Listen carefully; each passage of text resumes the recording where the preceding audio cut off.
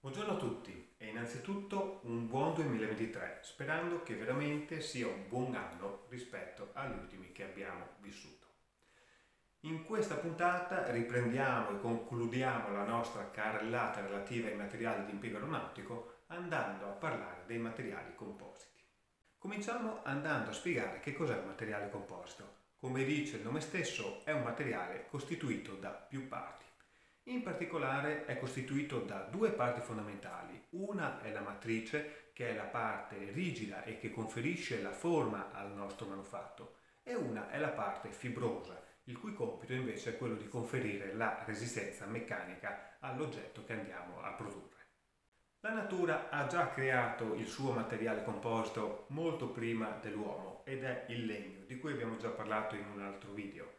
Il legno è infatti costituito da una parte resinosa che si chiama lignina e da una parte fibrosa che si chiama cellulosa.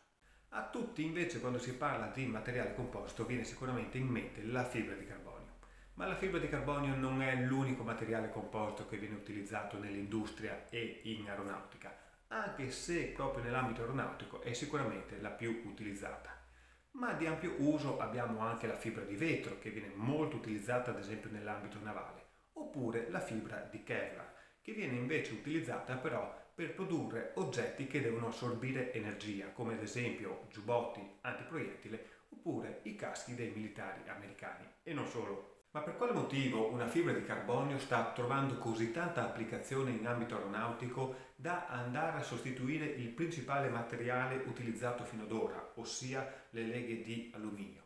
Beh, la motivazione è legata soprattutto al rapporto resistenza-peso. Pensate che queste fibre, non solo il carbonio, ma anche il vetro e il Kevlar, hanno delle resistenze a trazione elevatissime. Si parla dell'ordine di 4000 N su millimetro quadrato, quando un, una buona lega di alluminio raggiunge valori di circa 400 N su millimetro quadrato, quindi ben 10 volte inferiori rispetto alle fibre. Inoltre a questo dobbiamo aggiungere il, eh, il discorso relativamente al peso. Infatti una fibra di carbonio o una fibra di Kevlar hanno un peso che si aggira attorno ai 1300 kg su metro cubo, che è quindi praticamente la metà rispetto a una lega di alluminio, il cui peso si aggira attorno ai 2700 kg a metro cubo. Il rapporto quindi resistenza-peso è di 20 volte più grande eh, quello della fibra di carbonio e della fibra di Kevlar rispetto a una lega leggera in alluminio. Per quanto riguarda invece una fibra di vetro, il, le resistenze a trazione sono comparabili con il carbonio e con il Kevlar, per quanto riguarda il peso invece siamo attorno ai 2400 kg a metro cubo, quindi approssimativamente uguale a quello dell'alluminio e quindi il rapporto resistenza-peso della fibra di vetro è di circa solo 10 volte più grande rispetto a quella dell'alluminio. Ma tra una fibra di carbonio, una fibra di Kevlar e una fibra di vetro, qual è la migliore nell'applicazione aeronautica? Perché alla fine vince il carbonio? Non dobbiamo andare solo a guardare il rapporto resistenza-peso, che diciamo mette più o meno allo stesso livello il Kevlar e il carbonio, mentre il vetro è leggermente più svantaggiato ma dobbiamo andare anche a guardare l'energia che un materiale è in grado di assorbire e l'elasticità del materiale stesso. Andando a guardare in particolare questo ultimo parametro, ossia l'elasticità del materiale, bisogna far notare che noi andiamo a costruire soprattutto telai e un telaio per natura deve essere rigido, non può deformarsi in modo eccessivo in quanto andrebbe poi a influire proprio sull'aerodinamica del velivolo stesso. E se noi andiamo a guardare proprio la rigidità del materiale, in questo caso vince sicuramente il carbonio. Il carbonio infatti sono eh, tantissimi tipi di carbonio, ci sono le fibre di carbonio HM ad alto modulo di Young eh, oppure LM a basso modulo di Young, ma le fibre HM hanno dei moduli di Young veramente alti, si possono raggiungere valori di 800.000 N su millimetro quadrato contro i 135.000 di una fibra di Kevlar e i 206.000 ad esempio di un acciaio. Quindi il carbonio è molto più rigido e quindi è molto più adatto alla costruzione di telai. Kevlar e vetro invece hanno moduli di Young molto più bassi che però li rendono adatti all'assorbimento di energia. Infatti questi due materiali, in particolare il Kevlar, possono essere utilizzati in applicazioni appunto dove eh, si è soggetti a urti come appunto la produzione di giubbotti antiproiettile e di caschi per militari. Ma a fianco a tutti questi pregi ci sono anche dei difetti che bisogna andare a prendere in considerazione. Ad esempio il carbonio ha problemi di fatica. Nonostante abbia dei limiti di fatica molto elevati che gli garantiscano una vita molto lunga, ha il problema che la frattura si presenta improvvisamente, senza dare nessun preavviso di cedimento. È un materiale che non ha un limite di fatica al di sotto del quale il componente vive in modo infinito, come accade ad esempio all'acciaio oppure a un legno, ma si romperà sempre e quando si romperà si romperà improvvisamente senza dare alcun preavviso. Ma il principale difetto di questi materiali è costituito sicuramente dai costi.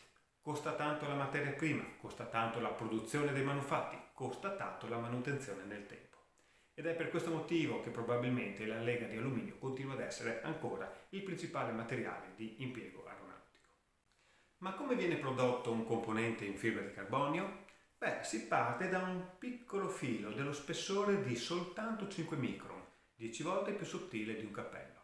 Questo piccolo e sottile filo viene prodotto con dei processi industriali molto complicati che vanno ad aumentare incredibilmente la resistenza del carbonio. Questo piccolo filo poi viene organizzato in matasse. Una matassa è sostanzialmente costituita da centinaia di fili aggregati insieme. Dopodiché le matasse vengono intrecciate tra di loro a formare un tessuto con ordito e trama. L'ordito ha la funzione di mantenere insieme il tessuto, la trama ha la funzione di conferire la resistenza. Possono essere con lo stesso numero di fili o con un numero di fili differenti, dando origine a dei tessuti monodirezionali o bidirezionali. Inoltre possono essere costituiti dello stesso materiale, ad esempio tutto carbonio, oppure possono essere costituiti da materiali misti, ad esempio carbonio e fibra di vetro oppure carbonio e Kevlar. Il carbonio conferisce la rigidità, la fibra di vetro o il Kevlar conferiscono una maggiore eh, capacità di resistere agli urti. Una volta che noi abbiamo i nostri tessuti che hanno una determinata grammatura, ossia un peso per metro quadro, si va dai 50 grammi a metro quadro fino a circa i 400 grammi a metro quadro, una volta che abbiamo questi tessuti abbiamo bisogno di uno stampo che darà la forma al nostro componente. Innanzitutto questo stampo viene ricoperto con un materiale distaccante, ad esempio una cera. Infatti rischiamo altrimenti che il nostro tessuto si incolli allo stampo e non saremo poi più in grado di separare le due parti. Una volta che abbiamo messo il distaccante possiamo inserire all'interno del nostro stampo il primo eh, strato di tessuto e quindi possiamo iniziare a distribuire sul nostro tessuto la resina. Si utilizzano resine che si chiamano epossidiche. Sono resine che sono molto rigide e servono a conferire forma al nostro oggetto. Le resine epossidiche sono normalmente bicomponenti, sono costituite da una parte che è la resina vera e propria, che però ha tempi di polimerizzazione molto lunghi, la quale viene addizionata come un catalizzatore il cui scopo è proprio quello di aumentare la velocità di polimerizzazione della nostra resina. Quindi noi stendiamo la resina sul nostro tessuto, dopodiché mettiamo un altro tessuto ancora, cospargiamo con il pennello altra resina, andiamo a rullare ad esempio con, con un rullo per eh, ridurre la quantità di aria assorbita dal tessuto e mettiamo tanti strati e tanta resina quanto deve essere lo spessore che vogliamo raggiungere. Una volta che abbiamo raggiunto il numero di strati desiderato, possiamo prendere il nostro stampo e metterlo all'interno di un sacco, aspirare quindi tutta l'aria e creare il vuoto all'interno dello stampo, in modo da assorbire tutta l'aria e ridurre la possibilità di presenza di difetti all'interno del materiale stesso. Possiamo infine prendere il nostro stampo e metterlo all'interno di un autoclave a temperatura più alta della temperatura ambiente, come ad esempio 50-60 gradi, in modo da velocizzare ulteriormente la eh, reazione di polimerizzazione e ridurre quindi i tempi di produzione. Alla fine di tutto il processo basterà togliere il nostro stampo dal sacco e togliere il nostro componente dallo stampo e fare le ultime lavorazioni per produrre il nostro componente. Il componente quindi risulta completato e pronto ad essere installato sul nostro velivolo. I materiali compositi sono dei materiali eccezionali che utilizzeremo ancora per molti secoli e sempre di più. Ma oltre ai difetti che abbiamo sottolineato, ci sono anche difetti dovuti alla difficoltà di riciclare questo materiale e alla difficoltà di smaltire. Per questo motivo siamo alla ricerca di materiali compositi di natura biologica come la fibra di canapa o la fibra di ortica e altre fibre per riuscire a risolvere questi problemi.